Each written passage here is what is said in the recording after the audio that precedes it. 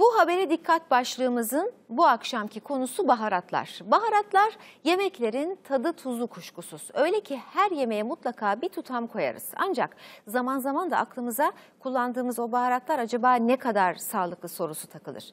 Peki eğer varsa o hileyi nasıl anlayacağız? İşte yanıtı. En çok hangi baharatı alıyorsunuz? Yeni bahar alacağız dolma için. Karabiber, kırmızı biber. Bunlara hile karıştırıldığını biliyor musunuz? Yok, bilmiyorum. Maalesef. Yok, bilemem. Duydunuz mu hiç böyle bir şey? Vallahi duymadım. Bilmiyorum. Bilmiyoruz. Bizler bilmedikçe, anlamadıkça onlar da baharata hile karıştırmaya devam ediyorlar. Ama öğrenmenin kolay bir yolu var. Nasıl anlaşılıyor peki? Kokusuna daha çok bakarız. Koku çünkü genelde olmuyor. Önce alacağınız baharatı şöyle bir kokluyorsunuz. Ardından tadına bakıyorsunuz. Bu ikinci yolu. Üçüncüsü de rengine bakıyorsunuz.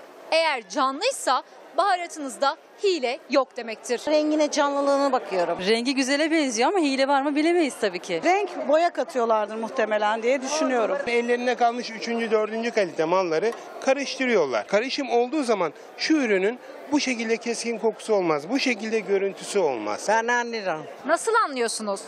O benim sırrım. Anlamıyorum. Baharatçılığın en zor kısmı bu. Baharat e, içine ne karıştırırsanız karıştırın özellikle karışımlarda hemen içinde kayboluyor. Peki nasıl anlayacağınızı biliyor musunuz? Hayır, hiç bilmiyorum. Bir baharatta hile olup olmadığını anlamanın da kolay bir yolu var. Baharatı böyle suya döküyoruz değil mi? Evet baharatı suyun içine dökelim.